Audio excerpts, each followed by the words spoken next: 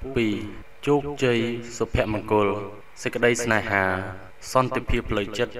និងទ្រព្យសម្បត្តិដែលខ្ញុំមានទាំងប៉ុន្មាន គឺបានមកដោយសារអាកំបាំងនៅក្នុងដុំក្រណាត់ទាំងអស់នេះដូច្នេះវាដល់ពេលដែលក្រុមបេសកជនមួយក្រុមអមដំណើរដោយកងការពារដ៏តឹងរឹងចាប់ផ្ដើមចេញដំណើរចេញពីទីក្រុងដាម៉ាខូដោយនាំយកជាមួយនៅឯកសារផ្ទេរកម្មសិទ្ធិនិងមាសជាច្រើនដុំសម្រាប់បុគ្គលិក ដែលជាអ្នកគ្រប់គ្រងហាងទំនិញទាំងអស់របស់ Hafed ហាងទំនិញរបស់គាត់មានសឹងតែគ្រប់ទីកន្លែង ចាប់ពីដងទន្លេអូបឺត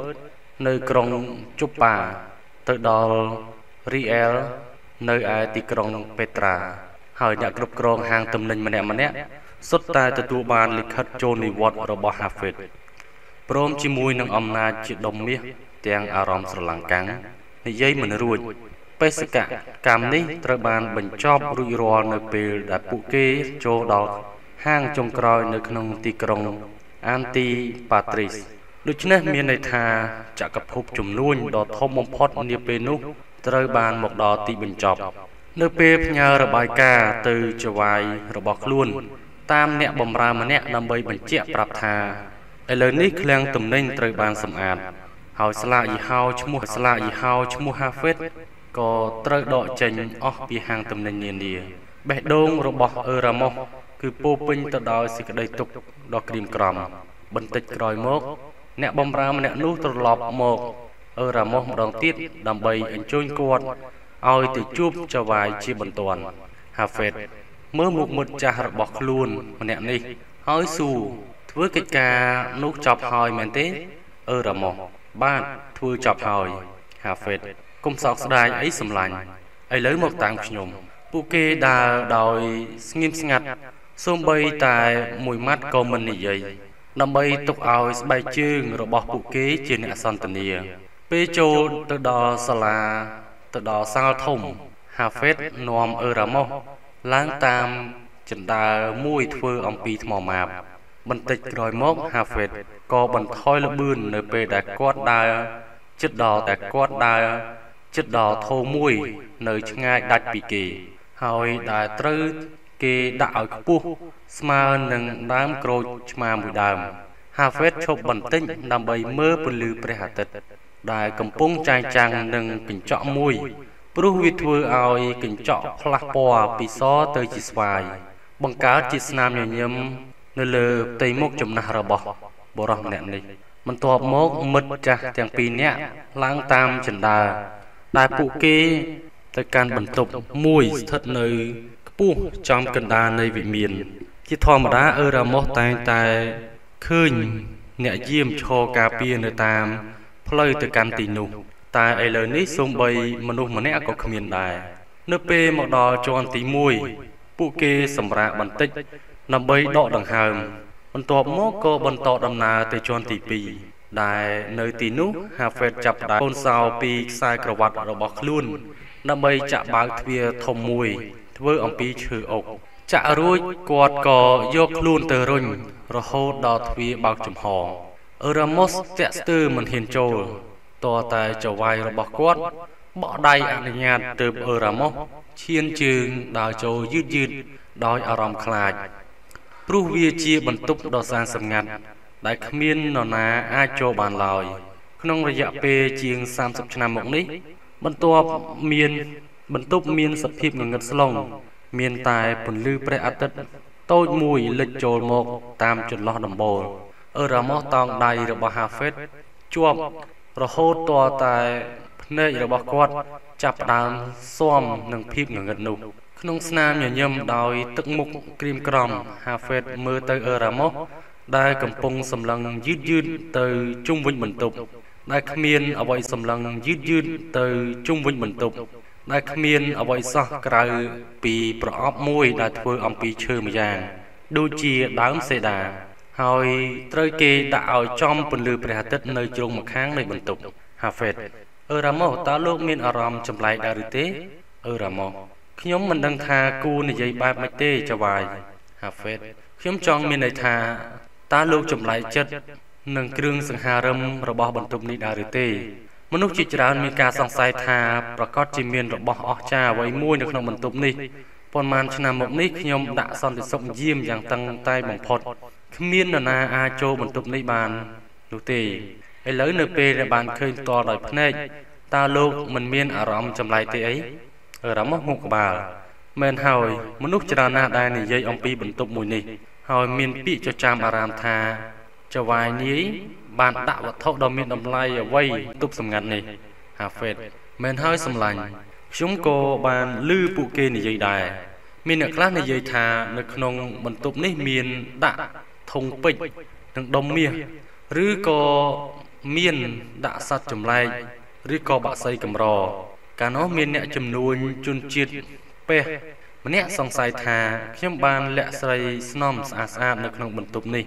ធ្វើឲ្យលីសាភរិយារបស់ខ្ញុំសោយដោយហួសចិត្តដោយលោកបានឃើញឥឡូវនេះអញ្ចឹង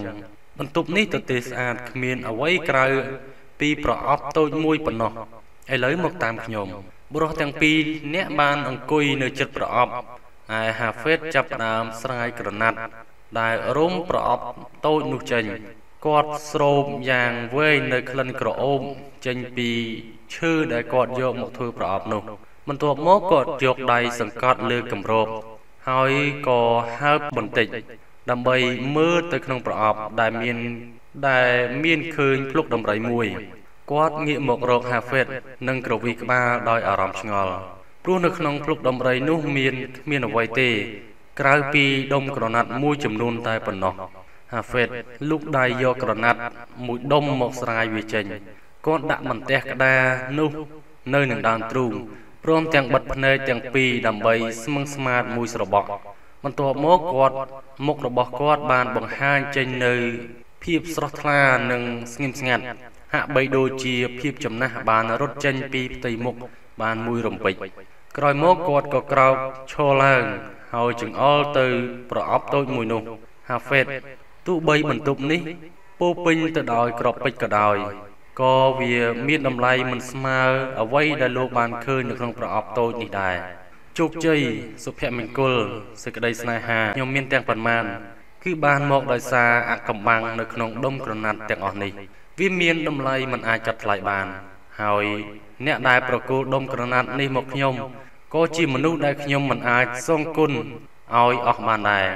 សំឡេងនិងពាក្យសម្ដីរបស់ហាហ្វេតធ្វើឲ្យអឺរ៉ាម៉ូសមានអារម្មណ៍ព្រឺសម្បុរ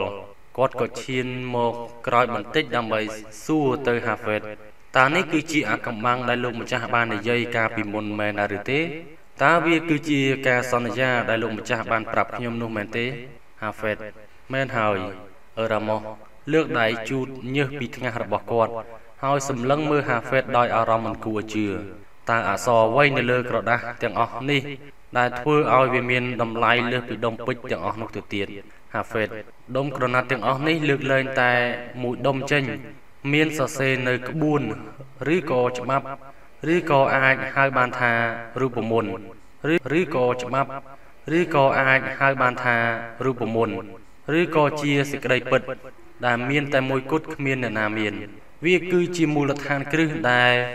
អ្នកអានងាយយល់ ដើម្បីក្លាយជាកម្ពូលអ្នកលក់ម្នាក់គឺត្រូវរៀននិងអនុវត្តទៅតាមក្បួនច្បាប់ នៅក្នុងដុំក្រណាត់នេះនៅពេលមនុស្សណាម្នាក់ចេះចាំស្ទាត់នៅក្បួនច្បាប់ទាំងអស់នេះហើយគាត់នឹងមានសមត្ថភាពអាចរកទ្រព្យសម្បត្តិបានច្រើនតាមសេចក្តីត្រូវការអឺរ៉ាម៉ូសម្លឹងមើលដុំក្រណាត់ទាំងអស់នេះ ដោយអារម្មណ៍មួយមិនគួរជឿលេងឡំនឹងអារម្មណ៍ស្រងាក់ចិត្តអាចមានទ្រព្យសម្បត្តិច្រើនដូចជាលោកម្ចាស់ដែរឬទេហាហ្វេត ប្រសិនជាគាត់ចង់គាត់អាចមានទ្រព្យសម្បត្តិច្រើនជាងខ្ញុំទៅទៀតអឺរ៉ាម៉ូលោកនិយាយថាដុំក្រណាត់ទាំងអស់នេះសុទ្ធតែមានឆ្លាក់នៅក្បួនច្បាប់ដើម្បីคล้ายជាអ្នកមានដើម្បីคล้ายជាកម្ពុជាអ្នកលក់ម្នាក់លើកលែងតែមួយដុំចុះឆ្លាក់អ្វីទៅហាហ្វេតមួយដុំចុងក្រោយនេះ តាមពិតទៅគឺជាដុំទី1ដែលត្រូវតែអានមុនគេព្រោះដុំនីមួយៗត្រូវរៀបទៅតាមលំដាប់លំដោយ ហើយដុំទី1នេះ មានឆ្លាក់អកំបាំងមួយដែលមនុស្សតិចតួចណាស់បានចេះដុំទី1បានបង្ហាញពីរបៀបធ្វើយ៉ាងណាដើម្បីរៀនក្បួនច្បាប់ដែលនៅក្នុងដុំបន្តបន្ទាប់ទៀតឲ្យមានប្រសិទ្ធភាពខ្ពស់អឺរ៉ាម៉ូមើលទៅដូចជាមិនលំបាកទេ ហើយនរណាក៏អាចរៀនក្បួនច្បាប់នេះចេះដែរហហាហ្វេតមែនហើយ វាមើលទៅសាមញ្ញទេ ប៉ុន្តែបើមនុស្សម្នាក់ចង់រៀនក្បួនច្បាប់នេះចេះនឹងបានផលល្អនោះគាត់ត្រូវតែហ៊ានចំណាយគឺត្រូវចំណាយពេលវេលា និងកម្លាំងដើម្បីប្រមូលអារម្មណ៍ឲ្យមូលរៀនក្បួនច្បាប់នេះរហូតតតែ វាคล้ายជាផ្នត់កំណត់រហូតតតែក្បួននេះជ្រាបចូលទៅក្នុងលោកដៃចូលទៅក្នុងប្រអប់និងចាប់ស្រាយក្រណាត់មួយដុំគាត់កាន់វាធ្នមធ្នមហើយលើកវានិយាយទៅហាហ្វេត ប៉ុន្តែលោកម្ចាស់មិនក៏លោកមិនចែករំលែកក្បួននេះឲ្យអ្នកដតីបានចេះផង ជាពិសេសអ្នកដែលធ្វើការបម្រើលោក តាមធម្មតាលោកជាមនុស្សចិត្តធម៌ម្នាក់ចូលចិត្តឲ្យរបស់ទៅគេចុះហេតុអ្វីបានជាមិនចែករំលែកចំណេះដឹងនេះទៅឲ្យពួកគេឲ្យคลายជាអ្នកមានដែរទៅយ៉ាងហោចណាស់ពួកគេអាចคลายជាអ្នកពូកែលក់ម្នាក់ហេតុអ្វីក៏លោកម្ចាស់លាក់វាទុកចេះតែម្នាក់ឯង អស់រយៈពេលជាយូរមកមកនេះហាហ្វេតព្រោះខ្ញុំគ្មានជំរើសទេ កាលពីច្រើនឆ្នាំមុន គឺនៅពេលដែលគាត់ប្រមូលដុំក្រណាត់ទាំងអស់មកឲ្យនេះមកឲ្យខ្ញុំខ្ញុំបានស្បត់នឹងគាត់ថាខ្ញុំនឹងទេក្បួននេះ ទៅឲ្យមនុស្សតែម្នាក់គត់សូម្បីតែឥឡូវនេះខ្ញុំក៏នៅតែមនុស្សតែម្នាក់គត់សូម្បីតែឥឡូវនេះខ្ញុំក៏នៅតែមិនទាន់យល់ពីមូលហេតុនេះដែរ គាត់បញ្ជាឲ្យខ្ញុំអនុវត្តក្បួនច្បាប់នេះ នៅក្នុងជីវិតប្រចាំថ្ងៃរហូត ដល់ថ្ងៃណាមួយខ្ញុំនឹងជួបមនុស្សម្នាក់ដែលគួរឲ្យទុកចិត្តនោះ ហើយដែលកំពុងត្រូវការចំណេះដឹង ដើម្បីបង្ហាញផ្លូវពេលនោះខ្ញុំត្រូវប្រគល់ក្បួនច្បាប់នេះទៅឲ្យគេភ្លាមទោះបីជាគាត់ខ្លួនឯងមិនមានបំណងចង់បានវាក៏ដោយពេលខ្ញុំអង្គុយអនុវត្តតាមក្បួនច្បាប់នេះខ្ញុំក៏ចេះតែសម្លឹងរកមើលនរណា គេដែលអាចស្នងទទួលយកដុំក្រណាត់ទាំងអស់នេះបានពីព្រោះខ្ញុំបានស្បត់ហើយថាត្រូវរកឲ្យឃើញមុននឹងខ្ញុំស្លាប់ទៅក្បួនទាំងអស់នេះបានធ្វើឲ្យខ្ញុំคลายជាមនុស្សម្នាក់ដែលគ្រប់គ្នាទទួលស្គាល់ថាជាកម្ពូលអ្នកលក់នៅលើលោកហើយសូម្បីតែគាត់ដែលផ្ទេរក្បួននេះមកឲ្យខ្ញុំក៏ត្រូវទទួលស្គាល់ថាលោកម្នាក់នៅក្នុងសម័យរបស់គាត់ដែរអឺរ៉ាម៉ូសឥឡូវលោកប្រហែល ជាបានយល់ពីមូលហេតុដែលធ្វើឲ្យរាល់សកម្មភាពរបស់ខ្ញុំជាច្រើនឆ្នាំកន្លងមកនេះមានលក្ខណៈពិសេសប្លែកពីគេ ដែលមនុស្សដតីសូម្បីតែលោកក៏មិនអាចធ្វើឲ្យដូចបានដូច្នេះហើយទើបពួកគេទទួលស្គាល់ថាខ្ញុំគឺជាមនុស្សដែលជោគជ័យបំផុតនិយាយប្រាប់លោកតាមត្រង់ទៅចោះទាំងសកម្មភាពនិងការសម្រេចចិត្តរបស់ខ្ញុំទាំងអស់គឺធ្វើទៅតាមក្បួនច្បាប់ដែលមានចែងនៅក្នុងដុំក្រណាត់ទាំងអស់នេះដូច្នេះវា មិនមែនបញ្ញាទេដែលធ្វើឲ្យខ្ញុំមានមាសច្រើនយ៉ាងសន្ធឹកសន្ធាប់បែបនេះគឺខ្ញុំដូចជាឧបករណ៍ចាំតែអនុវត្តតាមក្បួនច្បាប់នេះតែប៉ុណ្ណោះអឺរ៉ាម៉ូតើលោកម្ចាស់ប្រកាសហើយថា មនុស្សដែលទទួលបានដុំក្រណាត់នេះនឹងធ្វើឲ្យជីវិតគេផ្លាស់ប្ដូរហាហ្វេតប្រកាសហើយហាហ្វេតដាក់ដុំក្រណាត់ចុះដោយថ្នមថ្នមទៅក្នុងប្រអប់ និងបិទគម្របវិញតិចតិចដោយលុតជង្គង់នៅពីមុខប្រអប់អឺ រ៉ាម៉ូសតើលោកអាចនៅជាមួយខ្ញុំរហូតដល់ថ្ងៃនោះបានដែរឬទេបុរសយាមឃ្លាំងដើរចូលមកជិតហើយចាប់ដៃហាហ្វេតយ៉ាងណែនក្រោយពីងក់ក្បាលបន្តិចគាត់ក៏ដើរចេញពីបន្ទប់បាត់ទៅ ហាហ្វេតបន្ទាប់ពីរុំក្រណាត់ជុំវិញប្រអប់តូចមួយនោះគាត់ក្រោកឈរហើយដើរចេញពីបន្ទប់ទៅកាន់ដំបូលដែលខ្ពស់ជាងគេនៃវិមានរបស់ខ្លួនខ្យល់បក់ពីទិសខាងកើត នាំមកនៅក្លិនទឹកបឹងនិងក្លិនខ្សាច់ប៉ះនឹងផ្ទៃមុខរបស់បុរសចំណាស់គាត់ញញឹមនៅពេលគាត់បានឈរនៅទីមួយខ្ពស់ជាងគេនៅក្នុងទីក្រុងដាម៉ាគូដែលធ្វើឲ្យគាត់នឹកឃើញដល់រឿងអតីតកាលជំពូក3គ្មានមុខរបរឬការងារណាដែលធ្វើឲ្យមនុស្សមានលឿននិងស្ដុកស្ដំជាងការងារជាអ្នកលក់នោះទេ វាគឺជារដូវរងា ធ្វើឲ្យអាកាសធាតុឡើងត្រជាក់កកនៅតាមដងភ្នំអូលីវចេញពីទីក្រុងយេរូសាឡឹមដោយជិះកាត់តាមផ្លូវតូចនៅជ្រោះភ្នំ Kidron Valley មានធុំក្លិនផ្សែងក្លិនធូបនិងក្លិនសាច់អាំងចេញពីព្រះវិហារមួយលាយឡំទៅនឹងក្លិនប្រហើរភាយចេញពីដើមឈើ Tebribin ដែលដុះនៅលើភ្នំ នៅមិនខ្ពស់ប៉ុន្មាននៃជំរាលជើងភ្នំ មានភូមិមួយឈ្មោះបេផេកដែលនៅទីនោះមានពួកអ្នកដំណើរចំនួនមួយក្រុមធំកំពុងដេកលក់យ៉ាងស្កប់ស្កល់ពួកគេគឺជាក្រុមអ្នកជំនួញរបស់ Pharos ដែលធ្វើដំណើរមកពីទីក្រុង Palmyra កាលនោះគឺជារាត្រីយប់ជ្រៅណាស់ទៅហើយសំបីតែវងសัตว์សេះរបស់ពួកគេក៏ឈប់ដើររកស៊ីចំណី ហើយដាក់ខ្លួនដេកនៅលើដើមស្មៅតូចតូចផងដែរក្រុមជំនួញនោះបានបោះជំរុំជាប់ជាប់គ្នាយ៉ាងវែងហើយនៅខាងចុងជំរុំពួកគេយកខ្សែធំធំធ្វើជាដើមក្រយៅក្រចៅទៅចងភ្ជាប់ទៅនឹងដើមអូលីវចំនួន4ដើមបង្កើតទៅជាក្រោសัตว์មួយដែលមានរាង4ជ្រុងបន្ទាប់មកគេប្រមូលសัตว์ទាំង សត្វអូតនិងសត្វលីដេជុំគ្នាដើម្បី បានភាពកក់ក្ដៅនៅក្នុងតំបន់នៅក្នុងតង់មួយឯណោះវិញផេរ៉ូសកំពុងដើរទៅវិញទៅមកក្នុងអារម្មណ៍មិនស្រួលចិត្តពេលគាត់ឈប់ដើរម្ដងម្ដងគាត់ចងចិញ្ចើមនឹងក្រវីក្បាលដាក់ក្មេងកំឡោះម្នាក់ដែលកំពុងអង្គុយលុតជង្គង់ធ្វើមុខស្លេកស្លាំងនៅក្បែរច្រកចូលបន្ទាប់មកផេរ៉ូសក៏ដាក់ខ្លួនអង្គុយធ្នមធ្នម របៀបជាមនុស្សចាស់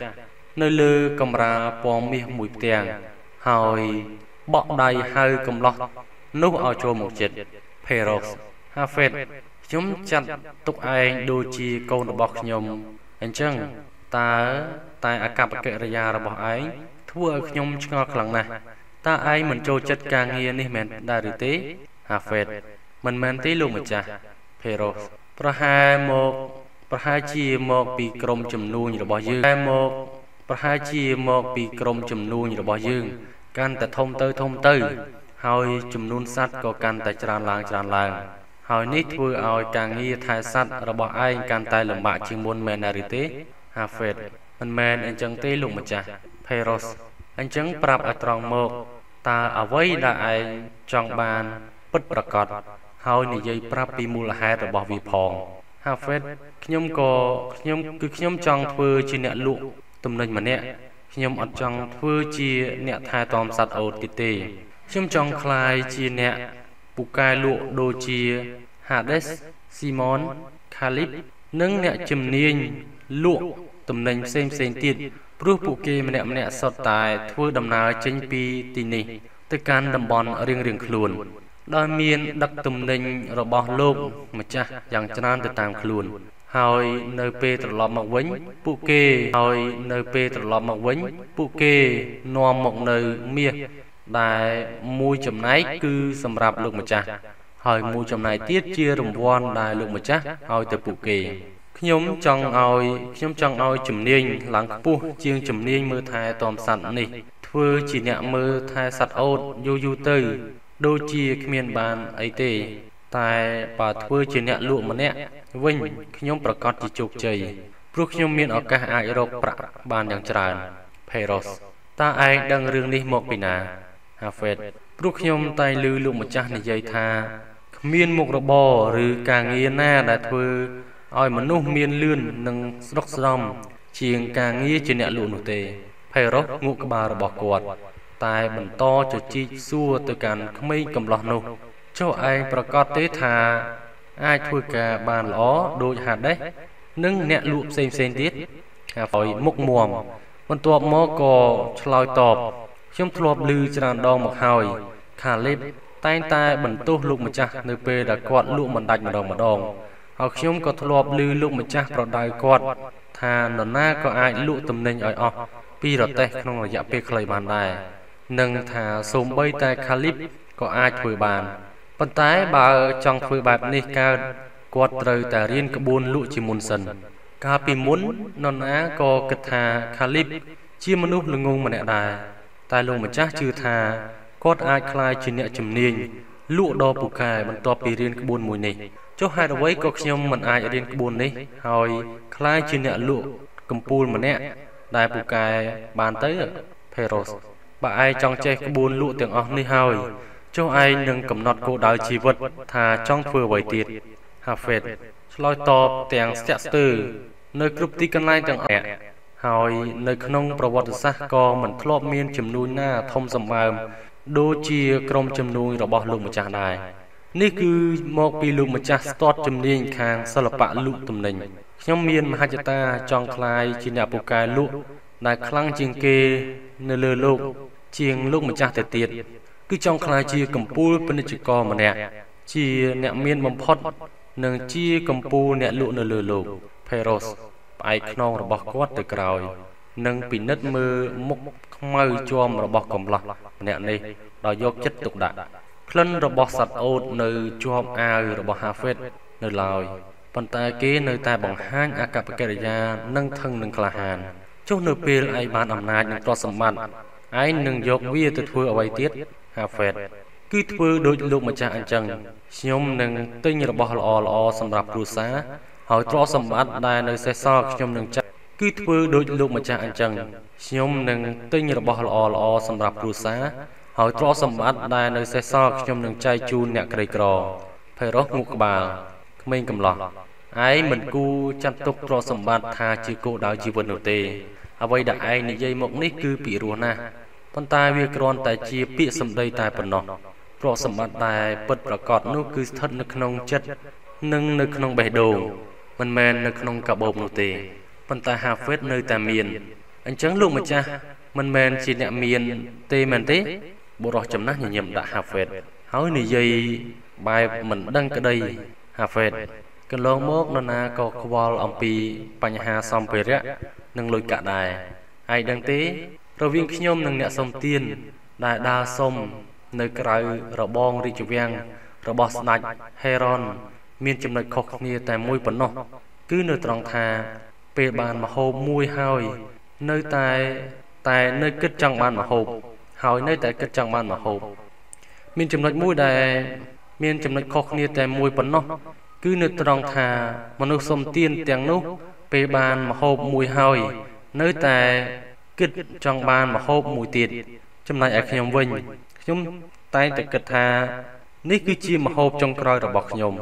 ដូច្នេះចូលកុំលោភលន់នឹងទ្រព្យសម្បត្តិកុំប្រើអស់កម្លាំង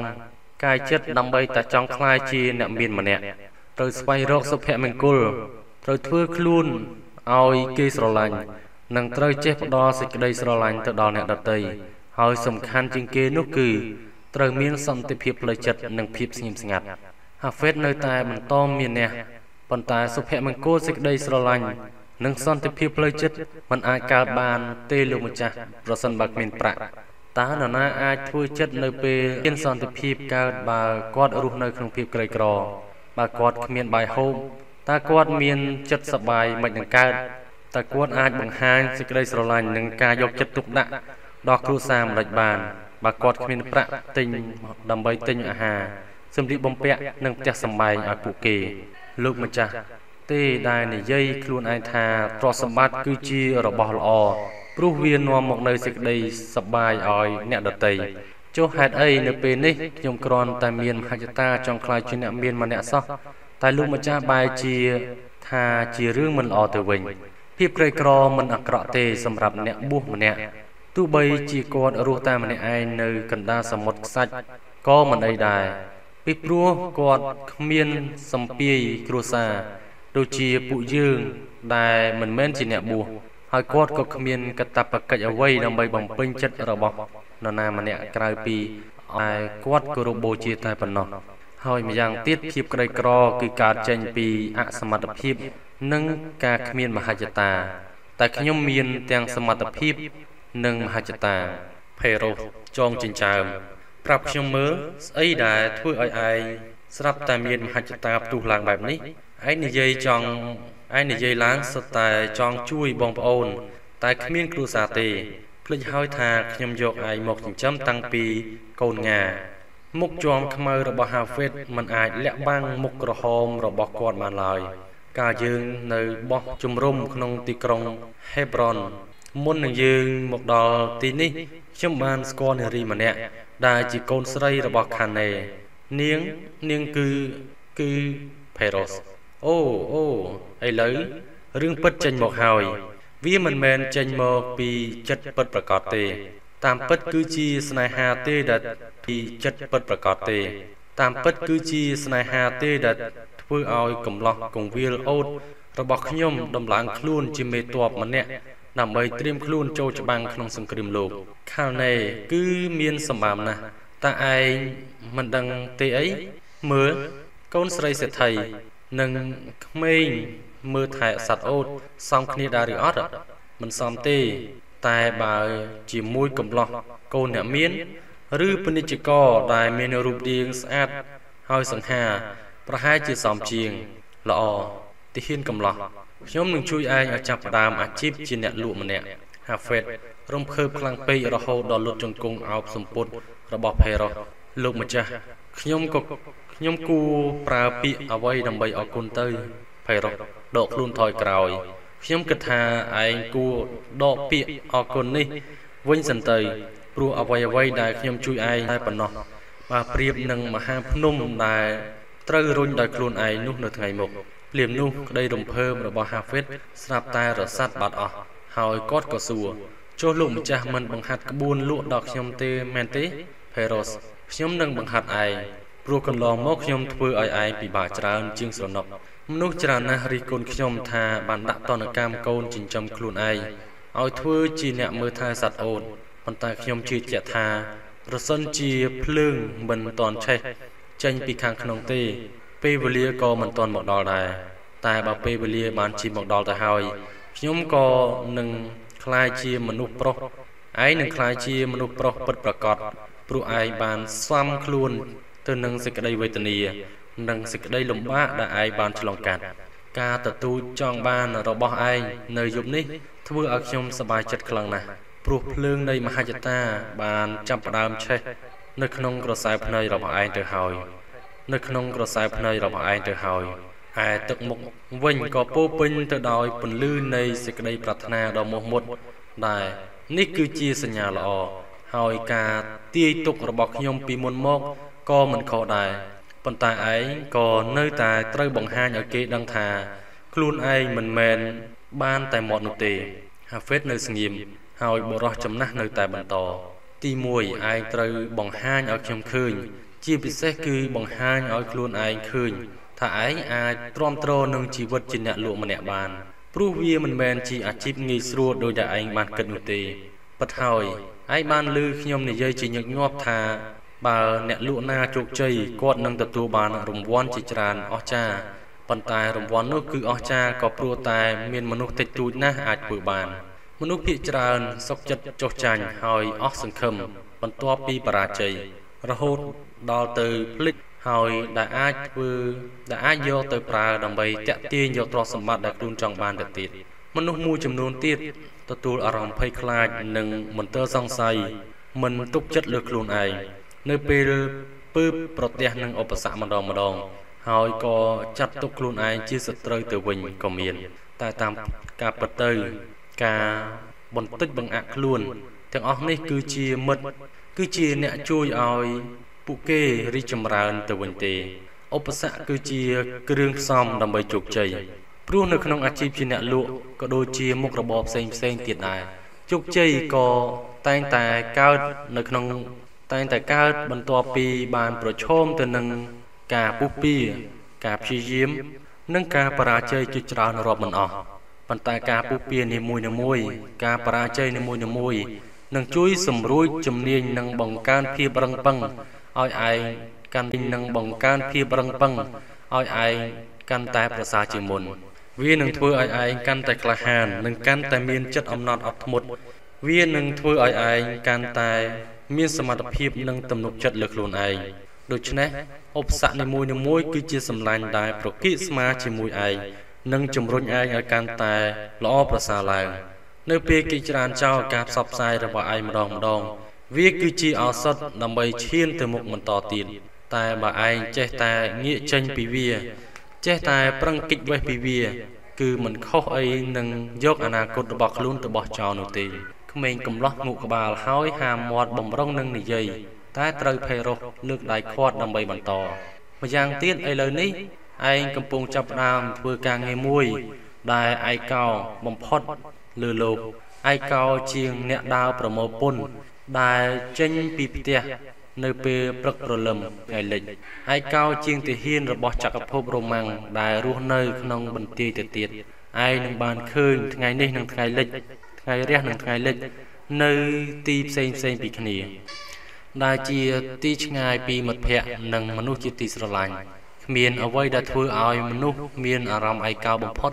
ជាងពេលដែលខ្លួនដើរកាត់មុខផ្ទះរបស់គេ នៅក្នុងរាត្រីស្ងាត់ដែលមើលឃើញសមាជិកគ្រួសារនោះអង្គុយជុំគ្នាក្រោមពន្លឺចង្គៀងព្រមទាំងបរិភោគអាហារពេលល្ងាចដោយសេចក្តីរីករាយនោះទេនៅក្នុងសភាពឯកោទាំងអស់នេះគឺជាពេលដែលធ្វើឲ្យឯងលះបង់ចោលនៅសេចក្តីប្រាថ្នាក្នុងជីវិតបានផេរ៉ូសបន្តដូច្នេះវិធីដែលឯងប្រើដើម្បីការពារសេចក្តីប្រាថ្នាឲ្យជាប់នៅក្នុងកលៈទេសៈបែបនេះ គឺមានឥទ្ធិពលសម្បំណាស់ដល់ការងាររបស់ឯងពេលនៅពេលដើរនៅលើផ្លូវតែម្នាក់ឯងគ្មានអ្វីក្រៅពីសត្វឬជីមិតវានឹងធ្វើឲ្យអារម្មណ៍ចម្លែកនិងជាញឹកញាប់បង្កើតឲ្យមានការភ័យខ្លាច ជាធម្មតាវានឹងធ្វើឲ្យឯងភ្លេចនៅអស់នៅក្តីប្រាថ្នា និងតម្លៃខ្លួនឯងទៅទៀតផងដែរនឹងធ្វើឲ្យយើង